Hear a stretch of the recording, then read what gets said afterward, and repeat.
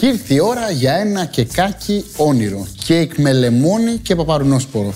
Είναι πάρα πολύ διάσημο στο εξωτερικό γιατί ο παπαρουνόσπορος μέσα κάνει αυτό το κρίτσι κρίτσι που πραγματικά αυτό το κέικ το απογειώνει. Μια συνταγή πανεύκολη, δεν χρειάζεται μίξερ. Τα υλικά τα έχετε όλα στο σπίτι, οπότε πάμε να τα δούμε και να το φτιάξουμε.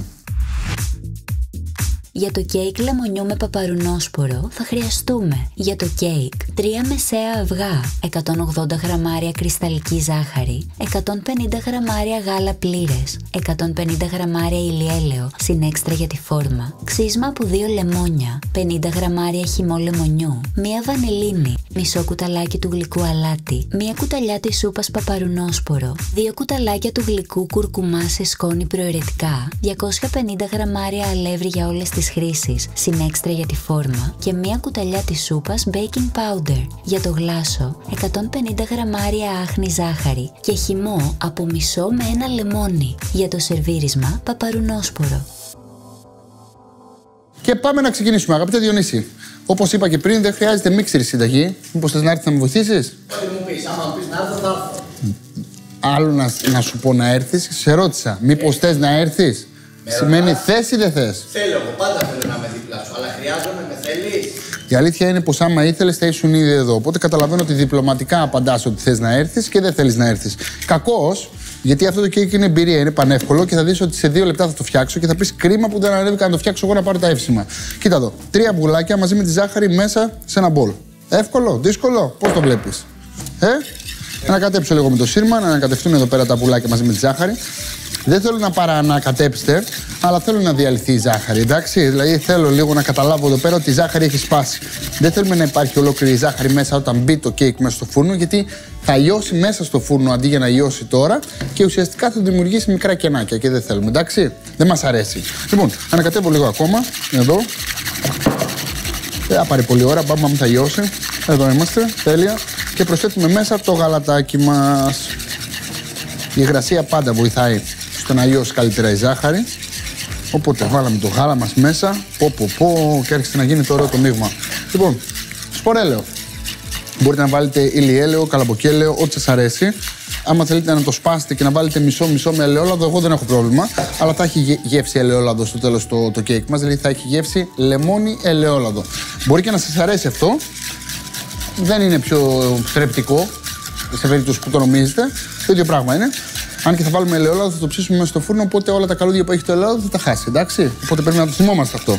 Λοιπόν, ανακατεύω μέσα και το λαδάκι και βλέπουμε ότι έγινε σαν ένα ωραίο dressing. Έτσι δεν είναι; Λοιπόν, τώρα έχω τα στερεά μου υλικά μαζί με το λεμόνι. Το λεμόνι είναι πολύ βασικό και γι' αυτό το λόγο το κράτησα χωριστά. Τι θέλω να κάνω, θέλω να βάλω ξύσμα από δύο λεμόνια, γιατί κάνουμε ένα λεμονένιο κέικ. Θέλουμε να έχει έντονη γεύση λεμονιού, αλλά ο χυμός πρέπει να είναι συγκεκριμένος. Πρέπει να είναι 50 γραμμάρια. Δεν θέλουμε ούτε ε, 70 ούτε 30. Που σημαίνει ότι άμα σας πω σε αυτή τη συνταγή βάλετε χυμό από δύο λεμόνια, άμα τα λεμόνια έχουν χυμό πολύ, μπορεί να πάει και 80. Άμα τα λεμόνια δεν έχουν χυμό, ε, μπορεί να πάει και 30. Οπότε γι' αυτό το λόγο έχω ζυγίσει το χυμό λεμονιού μου εδώ για να μπει ακριβώς. Θέλω 50 γραμμαριάκια. Οκ, το βάζω μέσα. Ανακατεύω.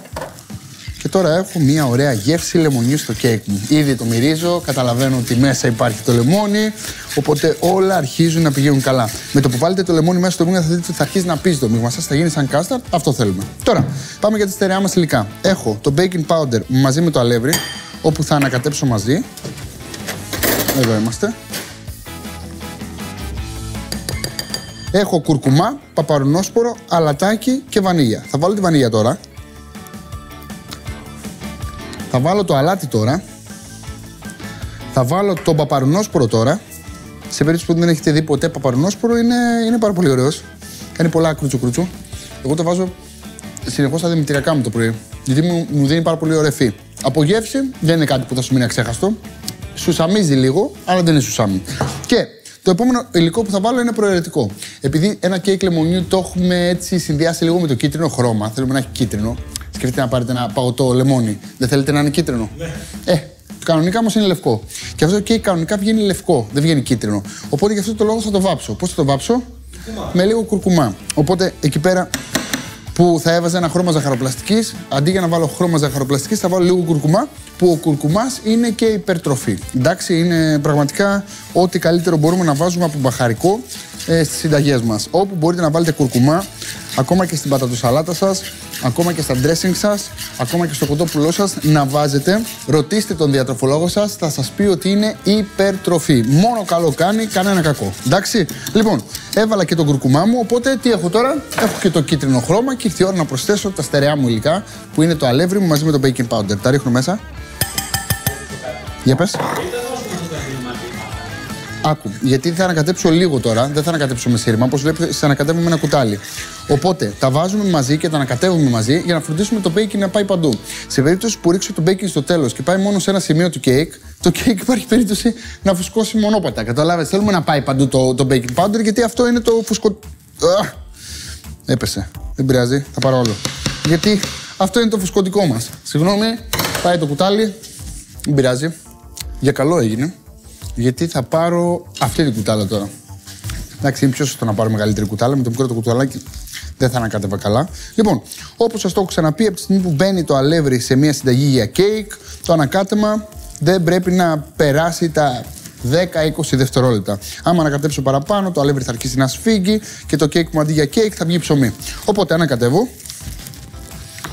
Πώς με βλέπεις, τέλος. Αυτό ήταν. Φουρνίζουμε, φίλε. Λοιπόν, Έχω μια φόρμα εδώ πέρα 10 επί 30. Έχω βούτυρο αλευρώσει, αλλά αντί για βούτυρο χρησιμοποίησα ελιέλαιο γιατί το βάλαμε ήδη στη συνταγή μας μέσα. Οπότε γιατί να ηλιώνω και βούτυρο. Και τι κάνω, μεταφέρω όλο μου το μείγμα. Το μείγμα μας είναι σχετικά ρευστό. Θα σας φανεί ρευστό σε αυτό το σημείο, αλλά δεν πειράζει. Έτσι πρέπει να είναι. Μην ανησυχείτε, στο τέλος πιστέψτε με, θα βγει όνειρο. Λοιπόν, μεταφέρω τα πάντα όλα. Και η ερώτηση μου είναι εξής. Είσαι από αυτούς που τρως ωμό κέικ. Και εγώ από αυτούς είμαι η αλήθεια είναι δεν μπορώ να το ε, προσπεράσω. Κάθε φορά που προσπαθώ να κάνω συνταγή για κέικ στην τηλεόραση, επειδή κάθε φορά θέλω να δοκιμάσω, μου λένε όλοι: Όχι, μην το φας, έχει αυγά μέσα, θα, δεν πρέπει να το βλέπει ο κόσμος.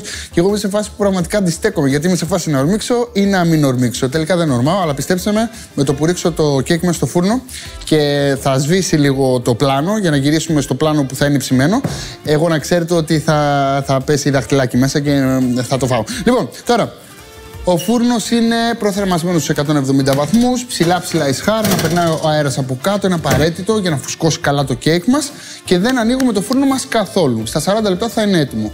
Ε, μπορεί να πάρει και 35, αλλά αφήστε το 40 για να είστε σίγουροι. 40 λεπτά το βγάζουμε έξω, το αφήνουμε στην άκρη να κρυώσει, γιατί θέλουμε να ρίξουμε και ένα γλάσο από πάνω. Σε περίπτωση που δεν θέλουμε να ρίξουμε γλάσο, έτσι όπως το βγάλουμε το φούρνο, αρχίζουμε το κόβουμε και το καταναλώνουμε και βάζουμε και παγωτό από πάνω. Αλλά εμείς το κάνουμε proper cake λεμονιού με παπαρουνόσπορο. Γι' αυτό το λόγο θα βάλουμε και ένα γλάσο. Πώς με βρίσκει, Μπελέση, Άψο. Δυνατός; Δυνατός. Είσαι έτοιμος να δοκιμάσεις κέικ με λεμόνι και παπαρούνα; Εννοεί. Αυτός είσαι.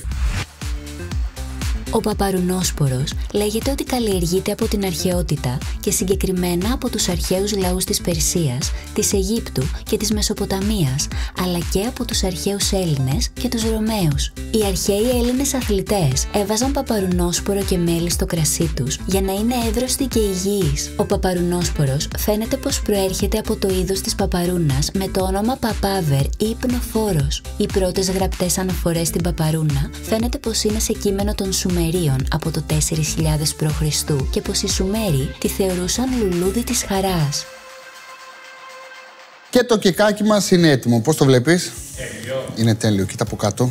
Έχει ψηθεί τέλεια, είναι χρυσαφένιο.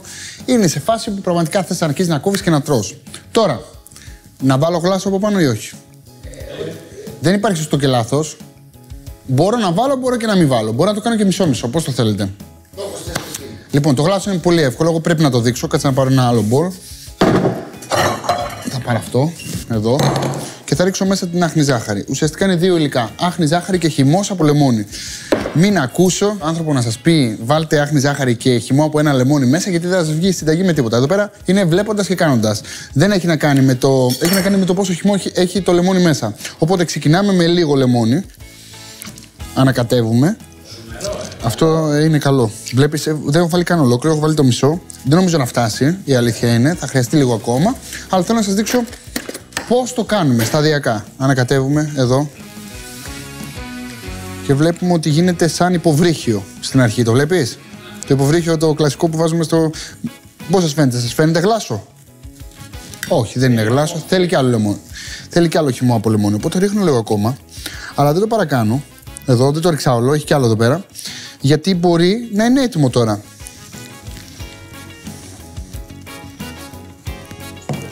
Τώρα όπως το βλέπεις τώρα είναι πιο υποβρύχιο. Από τη στιγμή που είναι έτσι, παχύρευστο και από τη στιγμή που έχει γίνει νερό, είναι παιδιά ένα κουταλάκι του γλυκού λεμόνι. Ναι, πρέπει να προσέξει πάρα πολύ. Δηλαδή, όντως, εγώ μερικές φορές όταν θέλω να κάνω γλάσο, μπορεί να τα αφήσω και έτσι, γιατί θέλω να είναι πάρα πολύ σφιχτό και να πέσει σιγά σιγά από πάνω. Γιατί άμα είναι πα- πάρα πολύ ρευστό τώρα, θα, θα φύγει όλο το γλάσο. Οπότε αυτό που θα κάνω είναι να βάλω πολύ λίγο ακόμα. Δηλαδή, κοιτάξτε. Έβαλα 10 σταγονίτσες εδώ, ανακατεύω και με 10 σταγονίτσες, κοιτάξτε εδώ. Άλλαξε και έγινε ακριβώς όπως πρέπει να είναι. Το βλέπετε; Οπότε θα ρίξω το γλάσο μου πάνω. Μην το φοβάστε, είναι σφιχτό γλάσο, έτσι το θέλουμε. Και σιγά σιγά αυτό δίνοντάς του χρόνο και θα πάει προς τις άκρες και θα καλύψει το κέικ μας και θα μείνει πάνω του. Οπότε αυτό που κάνω είναι, το πάω εδώ, το πάω και εδώ, το πάω και εδώ, το πάω και εδώ, το πάω και εδώ. Και έτσι όπως είναι από πάνω, βλέπετε που άρχισε ήδη να, να πηγαίνει προ- προς τα πλάγια. Το βλέπεις; Απλά παίρνει χρόνο. Μην το παρακάνετε στην αρχή γιατί μετά δυστυχώς δεν θα μπορεί να φτιάξει. Λίγο παρνόσπρο από πάνω, εδώ. Και πάμε να κόψουμε. Να κόψω; Κοίτα μέσα πόσο υπέροχο που είναι.